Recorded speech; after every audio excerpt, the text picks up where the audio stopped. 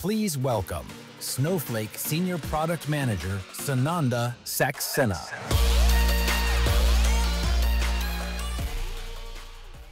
Hello, everyone. Welcome to the build session on next generation data products. My name is Sananda, and I'm a product manager in the collaboration space here at Snowflake. In this session, we'll go over data products and all the exciting new capabilities to enrich and build AI-ready data products. Then we'll go through all the new capabilities and a demo showing how to use these data products in real-world use cases. So we've talked about this a lot. There's really no AI strategy without a data strategy. What you put in determines what you get out. And what that really means is that building foundational, trusted, discoverable data assets are the key to leveraging any AI strategy and unlocking your use cases.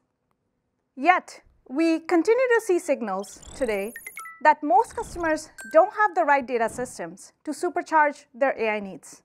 Oftentimes, many find it challenging to integrate the right trusted data sources or properly manage governance and access for these sources. And as you can see here, about 85 of the customers report that all their AI initiatives are unsuccessful, primarily because of lack of readiness of their underlying data.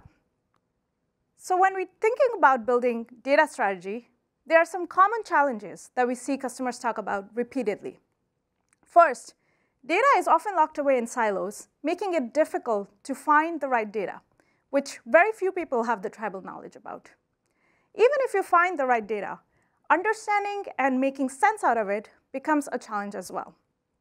And then many of these data products are low quality or duplicative, making it difficult to really know what's trustworthy and what should be used for any uh, higher level use cases. And this is where Snowflake really helps you build and share certified, trustworthy data products easily for all your business needs. Leveraging our zero ETL sharing capabilities, you can easily set up simple to use, cost effective data products with Snowflake and manage it throughout its lifecycle, sharing it within your organization and across your organization. It also has robust governance controls, as we'll see later in the session, to help you share and access data products with confidence. And you can easily build and share interoperable data products that is built on open table format. Again, we'll see that in a few slides. All right, so how do we think about data products at Snowflake? Data products are really a curated collection of assets which enable actionable insights towards achieving specific business outcomes. These can contain a variety of things. They can contain data like tables, views. They can contain metadata. They can also contain code and can be run on various different platforms. So really, all of this collection is really your trusted bundled data product. So with that, let's take a look at what's new at AI-ready data products at Snowflake. All right, so the first one is Cortex Knowledge Extensions. Building AI-ready data products that can be used immediately by Cortex AI or any agentic surface is super important for our customers. But the challenge is that LLMs don't always have the most latest context. And when you're using search LLM tools, many of them can only fetch information from a few selected scrapable websites. So then, how do you get the most up-to-date and accurate information related to your data when it is impacted by external events and third-party events? This is where Cortex Knowledge Extensions comes in. Powered by our Cortex Search Engine, it helps you access near real-time, licensed, high-quality data from third-party sources that can be used in any of your AI applications, helping you enrich your answers about first-party data with external events and third-party data. It's built on Cortex Search and uses unstructured information to first vectorize it. As a data product owner, you can easily build and share a Cortex Knowledge extension on the Snowflake Marketplace or with other consumers within your organization through internal marketplace or through private shares. And as a consumer, you can then use that Cortex Knowledge extension as part of Snowflake Intelligence to augment your answers about your first-party data with real context from third-party data. Super powerful capability, very excited to show more in the demo. All right, another new cap capability is the support for semantic views in your data products. Now, not only can you query your data products using SQL, but you can actually talk to your data by adding semantic views to it as well. Just like today, you've been adding objects, tables, and regular views to your data products, you can now enrich those using semantic views that are built using Cortex Analyst into your data products. And then you can share it within your organization through internal marketplace or across Snowflake Marketplace or to other consumers that then allow them to build chat functionality using Cortex agents, Snowflake Intelligence, or directly by querying or chatting with the um, data product. Really, really powerful capability in building rich data products and unlocking a new segment of business and non-technical users through chat interface. Okay, so data products and data providers want to deliver richer data products that go beyond raw tables. They want to include analysis notebooks, helper functions, interactive tools. But today, there's no middle ground between the simplicity of shares that Snowflake offers and the native app framework to add data and code. With that, we've added a whole new approach to share by declarative sharing, which bridges the gap between simple data shares and full native apps. It allows you to enable and bundle data with code objects through a simple YAML-based approach without the complexity of managing SQL scripts or setup grants.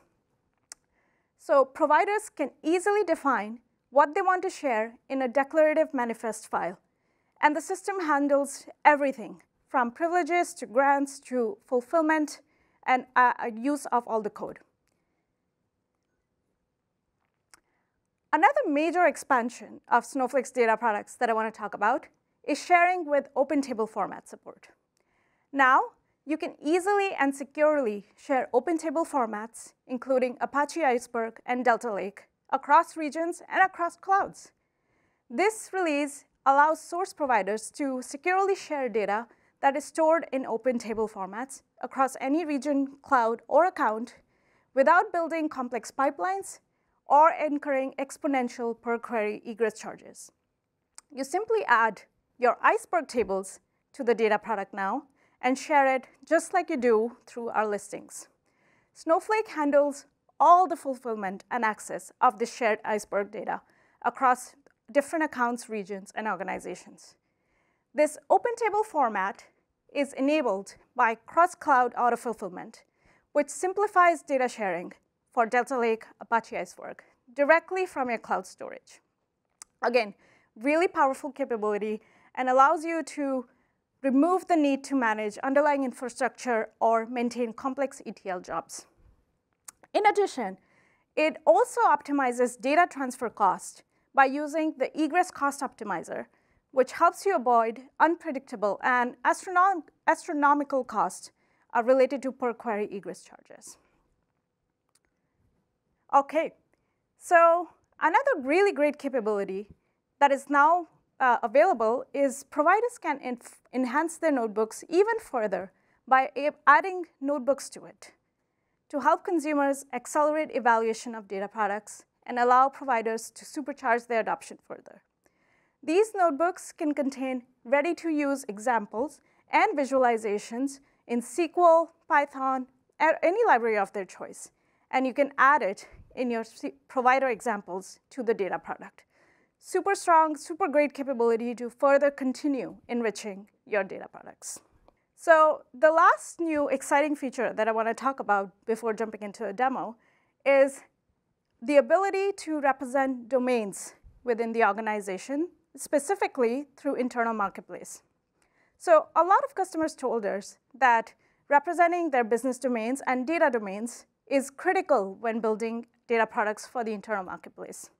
So this, with this capability, you can now represent your different domains like marketing, sales, supply chain in internal marketplace and allow the consumers to easily search, filter, and understand data products originating from different sources with ease. Very powerful capability. We're very excited for customers to try it out. OK, so we talked about a lot of capabilities here. And all these capabilities are accessible through our data products that are surfaced through multiple avenues. Snowflake Marketplace, which is also now available in VPS, internal marketplace for your own in, in enterprise, where you can build and share data products just within your organization. And all of these AI data-ready products can be shared both on internal and Snowflake Marketplace. And in addition, they're both built on the powerful sharing capabilities that Snowflake offers today with the powerful cross-region, cross-cloud fulfillment capabilities. OK, so before we go to the demo, I just want to reiterate how critical rich data products are for unlocking business value to AI, BI, or analytics. This is the most essential component for any enterprise strategy, and we're excited to continue investing and building and supporting this further. So with that, let's jump into the demo.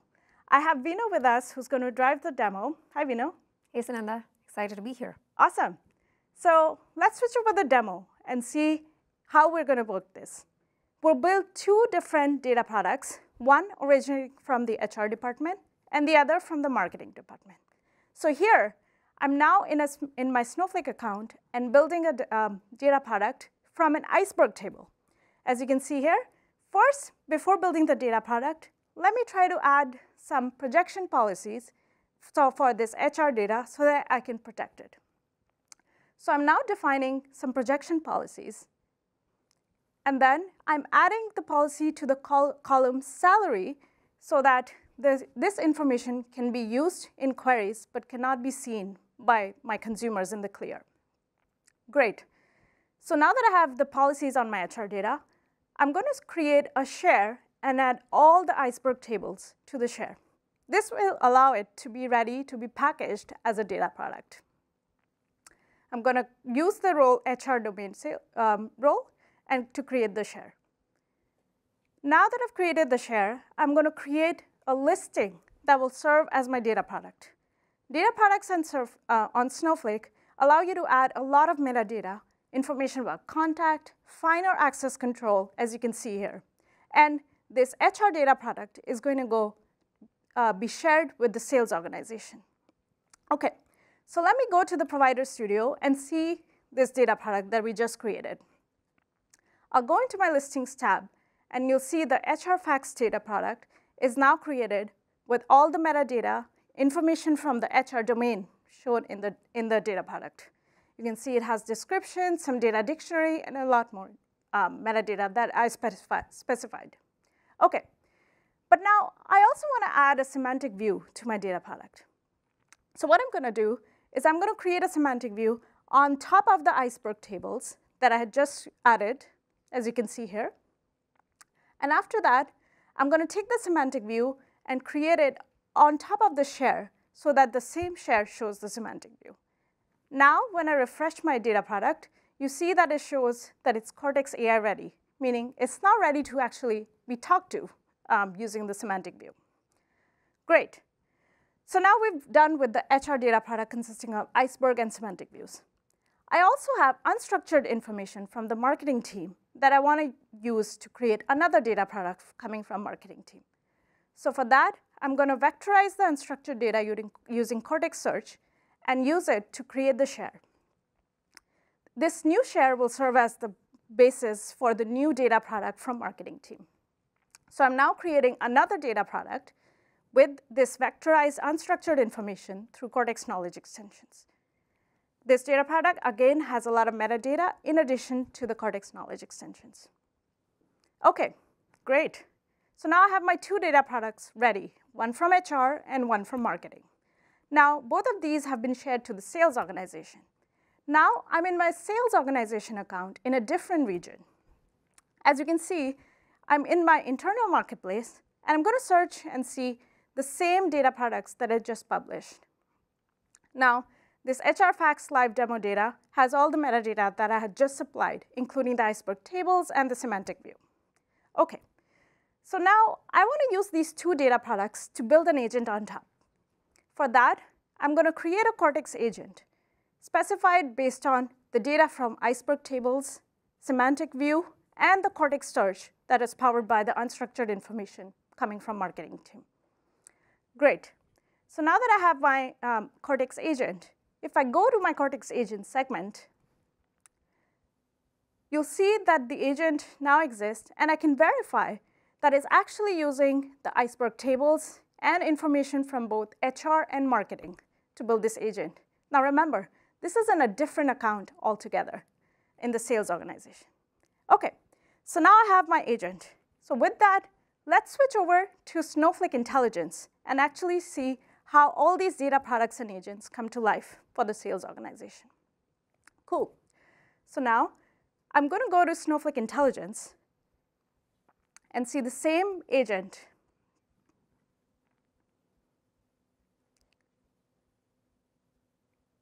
you'll see that this agent is powered by, again, the Cortex knowledge extensions and the information from HR and marketing. Now let's try to understand the monthly sales in the last 12 months.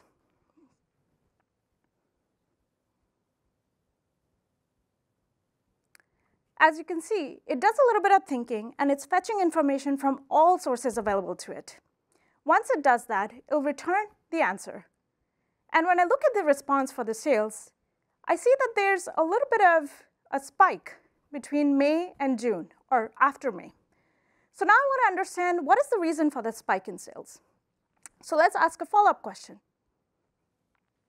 Now, it's going to take a look at the information from HR and marketing to understand what is happening.